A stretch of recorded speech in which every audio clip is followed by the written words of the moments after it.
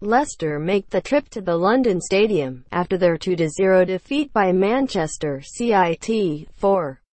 David Moyes' first home game in charge of the Hammers after he was appointed earlier this month. The Foxes make the trip to the capital for David Moyes' first home game in charge of. Moyes lost his first game on Sunday 2-0 at Watford, and his new side are third bottom in the. When a new manager arrives, it is always positive for the players to show their qualities and to try and win their place.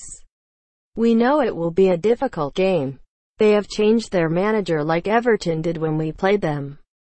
While Puel has no new injury concerns ahead of the trip to London, he will yet again be without Robert Huth, ankle, and Matty James, Achilles. If we have just two or three days to recover, it will be important to make some rotation.